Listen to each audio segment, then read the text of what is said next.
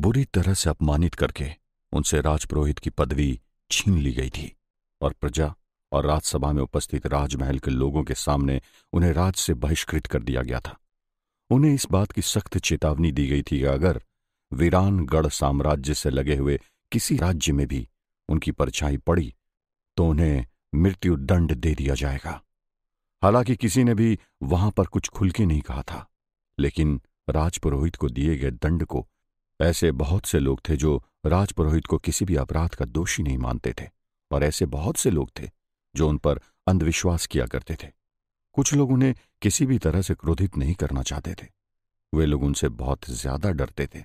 दरअसल सच्चाई तो ये थी कि वीरानगढ़ के राज परिवार के लोग प्रजा के सामने अपने आप को जितने सभ्य, शालीन, संस्कारी और मर्यादित बताने की कोशिश किया करते थे, असलियत में वैसा कुछ भी नहीं था। राज परिवार में बहुत से मनमुटाव, विरोध और अंदरूनी झगड़े हमेशा से ही बने हुए थे।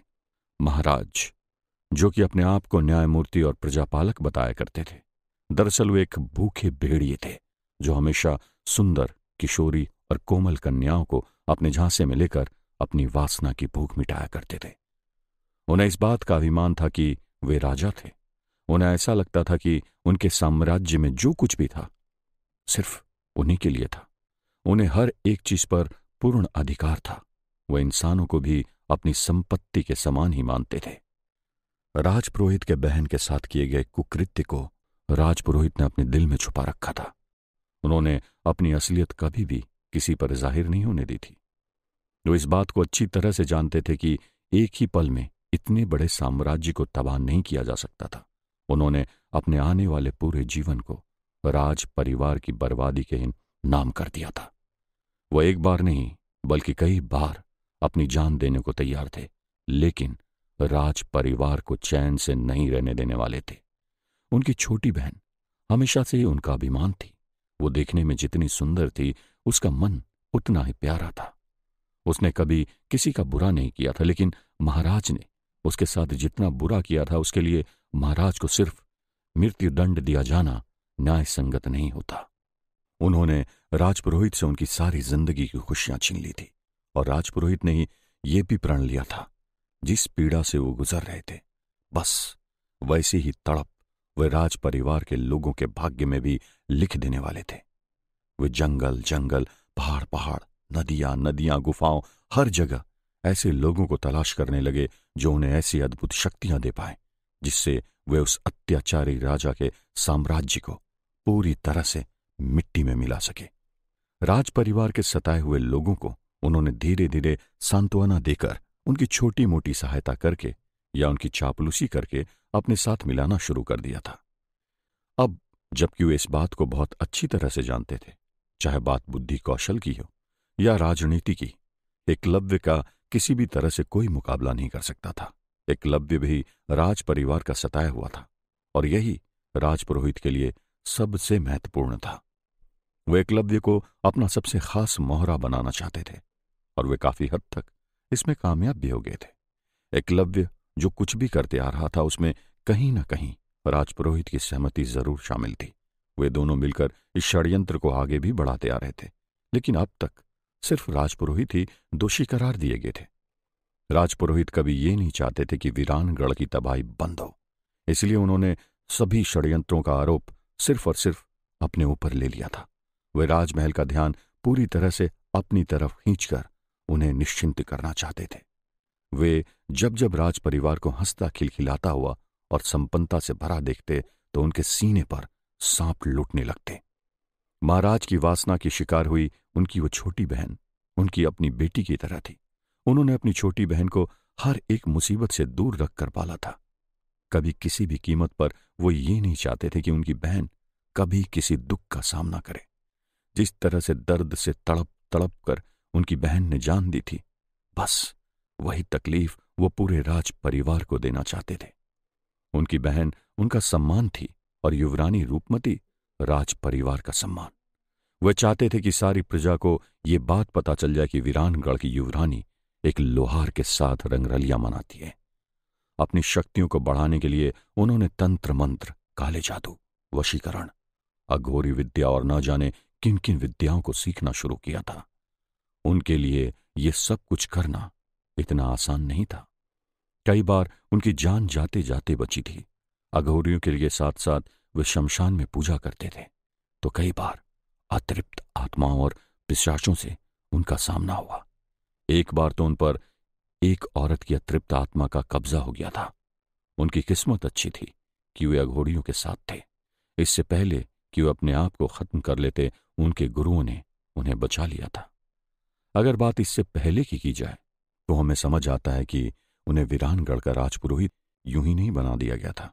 उन्होंने जिस तरह की सिद्धियाँ हासिल की थी, उसके बाद वीरानगढ़ के महाराज की विवशता थी कि वो वर्षों से खाली पड़े राजपुरोहित के पद पर उन्हें बिठाए।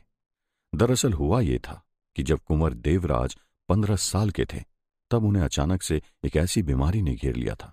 जिसका उपचार राज्य वैद्य या दूसरे किसी वैद्य जानकार के पास नहीं था। युवराज जो भी खाते, वो उसे उल्टी कर देते। उनका खून पानी बनने लगा था। रात होते ही वो डर कर रोने लगते, पागलों की तरह हरकतें करने लगते। उनकी कमज़ोरी हद से ज़्यादा बढ़ती जा रही थी और उनका दिमागी संतुलन पूरी तरह बिगड़ गया था। जब महाराज ने हर तरह के उपाय करवाकर देख लिए और वे हताश हो गए तो उन्हें, उनके कुछ मंत्रियों ने एक पहुँचे हुए बाबा के बारे में बताया। हालाँकि उम्र में वो बाबा बहुत बूढ़े नहीं थे, लेकिन उनकी सिद्धियों के चर्चे दूर दूर तक फैले हुए थे। उन्होंने कई लोगों की वर्षों पुरानी बीमारियों को छूते ही गायब कर दिया था। जब महाराज को लोगों की बताई हुई बातों पर थोड़ा यकीन हो गया तो उन्होंने उस बाबा को राजमहल में उपस्थित होने का आदेश दिया। महाराज के बार बार संदेश भेजने पर भी उस बाबा ने राजमहल में आने से मना कर दिया। इससे महाराज को बहुत ज़्यादा क्रोध आने लगा, लेकिन वो एक सन्यासी का कर भी क्या सकते थे। फिर महारानी और कुछ मंत्रियों ने महाराज को समझाया कि इस तरह से सन्यासी बाबा इतनी आसानी से राजमहल में नहीं चले आते। महाराज को स्वयं उस बाबा से मिलने जाना चाहिए। फिर कुछ पल के लिए अपना अहंकार छोड़कर वीरानगढ़ के महाराज स्वयं अपने पुत्र को रथ में बिठाकर उस बाबा के पास चले गए। जैसे ही महाराज ने उनसे विनती की, कुछ ही पलों में उन्होंने युवराज पर जैसा जादू सा कर दिया। वे पहले की तरह हंसने खेलने लगे। उस बाबा ने अपने पास का विमंत्रित जल, कुंवर देवराज को पिलाया और उनके शरीर पर विभूति लगा दी। इसके बाद, जब उस बाबा ने अपने पास के फल युवराज को खाने के लिए दिए तो किसी भूखे बंदर की तरह वह उन फलों पर टूट पड़े। कुछ ही देर में महाराज के देखते ही देखते कुंवर देवराज ने उस बाबा के दिए हुए सारे फल खा लिए। पिछले कुछ समय से जो युवराज अपने खुद के साय से भी डरे जा रहे थे। वहीं बाबा के सामने आते ही वे बड़े ही प्रसन्न लगने लगे। उस दिन महाराज का आदेश मानकर राजपुरोहित वीरानगढ़ छोड़कर चले तो गए थे, लेकिन वो और ज़्यादा लंबे वक्त तक खुद को वीरानगढ़ से दूर नहीं रख पाए। उन्होंने कुछ ही सालों में अपने आप को और भी ज़्यादा सक्षम बनाना शुरू कर दिया। अपने ही जैसे लोगों को इकट्ठा करके वीरानगढ़ के खिलाफ एक सेना तैयार कर ली एकलव्य और राजपुरोहित ने मायावी जंगल को अपना ठिकाना बनाया हुआ था। राजपुरोहित ने अपनी तंत्र विद्या और काले जादू की मदद से अनेकों भटकती हुई अतृप्त आत्माओं को इकट्ठा करना शुरू किया। वहाँ पहले से भी कैसी कई भटकती हुई आत्माएँ थी, जो राजमहल से प्रतिशोध लेना चाहती थी। राज परिवार के विरुद्ध षड्यंत्र रचने के लिए राजपुरोहित को तो दंड दे दिया गया था, लेकिन एकलव्य अभी भी अपने लक्ष्य को हासिल करने की कोशिश कर रहा था। राजपुरोहित के दंड दिए जाने के बाद महाराज के साथ साथ राज परिवार के बाकी लोगों को भी यही लगने लगा था कि अब राजमहल के विरुद्ध षड्यंत्र करने की कोई भी हिम्मत नहीं करेगा। अब लगभग सब कुछ ठीक चलने लगा था। रूपमती अब अपने पति देवराज के साथ अपने संबंध सुधारने लगी थी, एकलव्य, जो कि राज परिवार से सिर्फ़ और सिर्फ़ प्रतिशोध लेना चाहता था, अब उसके दिमाग पर रूपमती का रूप हावी होने लगा था। उसने राजपुरोहित से मिलकर तंत्र विद्या की मदद से रूपमती का फ़ायदा उठाना शुरू कर दिया। दासी स्वप्न सुंदरी, जो कि एकलव्य की माँ थी, वो अभी भी युवरानी के कक्ष में हो रही गतिविधियाँ और एकलव्य के महल के आसपास दिखाई देने को लेकर चौकस रहा करती थी। युवरानी को एक बार फिर से वश में करने के लिए राजपुरोहित और एकलव्य ने बहुत ही शक्तिशाली डायन और पिशाच का आह्वान किया और उनकी मदद से एकलव्य रूपमती को एक बार फिर से अपने प्रेम जाल में फंसाने लगा था। एकलव्य का ऐसा मानना था कि वो जो कुछ कर रहा था, वो सिर्फ़ अपने प्रेम से विवश होकर कर रहा था। लेकिन सच्चाई क्या थी, ये तो कोई नहीं जानता था।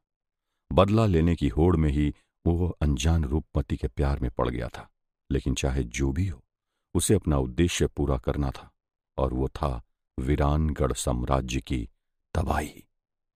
राजपुरोहित के साथ मिलकर एकलव्य ने शैतान के साथ एक सौदा कर लिया था, जिसके हिसाब से शैतान उनकी मदद करने वाला था। मायावी जंगल उनके बदले का केंद्र बन गया था। हज़ारों भूतों की टोली वहाँ तैयार होने लगी थी। तरह तरह के मायावी जाल उस जंगल में बिछाए जाने लगे थे। अगर महाराज को इस बात की भनक भी लग जाती कि उनके खिलाफ होने वाले षड्यंत्र का केंद्र मायावी जंगल है, तब भी उस भूतों की सेना के सामने इंसानी सेना कुछ मिनट ही टिक पाती। अब तक रूपमती और एकलव्य के बीच में काफ़ी दिनों से कोई मुलाकात नहीं हो पाई थी। न चाहते हुए भी रूपमती की उससे मिलने की इच्छा होने लगी थी।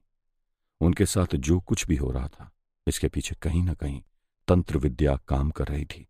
वैसे भी एकलव्य की आँखों में जो जादुई ताकत थी, वो वशीकरण का परिणाम था। राजपुरोहित ने एकलव्य के साथ मिलकर देवराज को मारने का जो दिन तय किया था, उस दिन वैसा कुछ भी नहीं हो पाया था। उनकी एक और साजिश नाकामयाब हो गई थी। राज परिवार से कोई भी उस आग वाले हादसे में नहीं मारे गए थे। राजपुरोहित को देश निकाला दिए जाने के बाद से ही महाराज के पास प्रजा के लोग तरह तरह की शिकायतें लेकर आने लगे थे। कुछ लोग ये कहने लगे कि उनके पालतू जानवर एक एक करके तड़प तड़प के मर रहे हैं। कुछ लोग कहने लगे कि उनकी फ़सलों में न जाने क्यों, पर बहुत से कीड़े लगने लगे हैं। वीरानगढ़ के इतिहास में इससे पहला ऐसा कभी भी नहीं हुआ था। अगर अतिवृष्टि, सूखा, ओलावृष्टि, तूफ़ान या और कोई प्राकृतिक आपदा आ भी जाया करती तो भी राजपुरोहित काफ़ी हद तक उससे लोगों को बचा लिया करते थे। ऐसे ही नहीं था कि यह परेशानियाँ सिर्फ़ प्रजा को हो रही थी। राजमहल के लोग भी एक एक करके परेशानियों से गिरते जा रहे थे। अब तक वहाँ पर कोई भी अलौकिक शक्तियाँ किसी को दिखाई नहीं दी थी, लेकिन पिछले कई दिनों से लोगों को रात में तरह तरह की आवाज़ें सुनाई देने लगी थी। ऐसा नहीं था कि वीरानगढ़ में सिर्फ़ राजपुरोहित ही एक जानकार आदमी थे, लेकिन उनके जैसा जानकार भी कोई दूसरा नहीं था। यह भी उतनी ही बड़ी सच्चाई थी।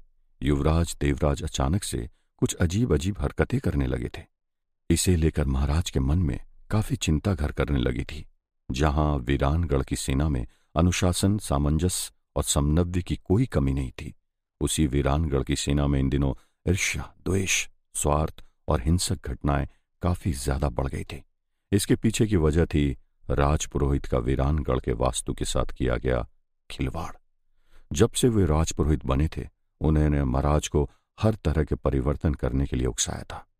उन्होंने कहा था कि राज्य की समृद्धि को बचाने के लिए महाराज को कई तरह के उपाय करने होंगे और महाराज उनकी बातों को आँख मूंद कर मानते रहे थे। जिस दिन से महाराज ने राजपुरोहित को देश निकाला दिया था, लोगों के मन में डर पैदा होने लगा था।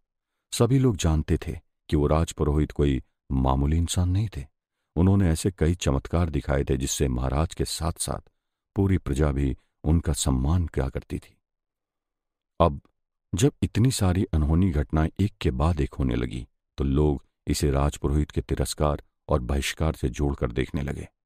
यूँ तो लोगों के बीच चल रही थी बातें महाराज के कानों तक भी पहुँच रही थी, लेकिन वे अहंकार में चूर थे। राजपुरोहित के निष्कासित किए जाने के बाद ही उन्होंने अगले ही दिन नए राजपुरोहित के नाम की घोषणा भी कर दी। हालाँकि वो खुद भी इस बात को बहुत अच्छी तरह से जानते थे कि उनकी तरह राजपुरोहित मिल पाना वीरानगढ़ के लिए अब बहुत मुश्किल भरा होने वाला था। दूसरी तरफ़ रूपमती ने जब उस रात अपने आप को अपनी पति को सौंपा था, उन्हें तब से सब कुछ होते हुए भी कुछ अधूरापन लग रहा था। उन्होंने देखा था कि किस तरह से उनके पति, जो उनसे बहुत ज़्यादा प्रेम करने का दावा किया करते थे वे सिर्फ़ उसके साथ संभोग करने के ही भूखे लग रहे थे। एक बार जब उन्हें वो सुख मिल गया तो उसके बाद से उनका व्यवहार रूपमती को लेकर थोड़ा बदलने लगा था। तो रूपमती के व्यवहार में आगे कैसा बदलाव आने वाला था? राजपुरोहित और एकलव्य आगे क्या करने वाले थे? क्या युवराज, देवराज की जान खतरे में थी? क्या नए पुरोहित वीरानगढ़ की रक्षा कर पाएँगे? जानने के लिए सुनते रहिए।